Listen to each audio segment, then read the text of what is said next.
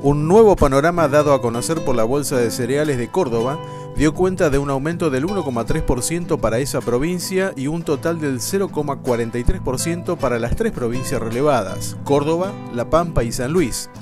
Pese a que las lluvias de la última parte del ciclo marzo-abril 2012 permitieron recuperar en parte el estado de los cultivos, cálculos preliminares infieren que la producción será inferior a la campaña pasada.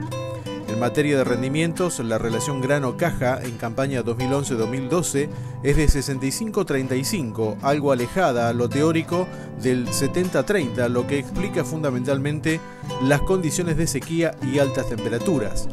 Bajo esta evaluación, el Sistema de Información Agroeconómica de la Bolsa de Cereales de Córdoba calcula una producción en la provincia de 911.000 toneladas de maní en caja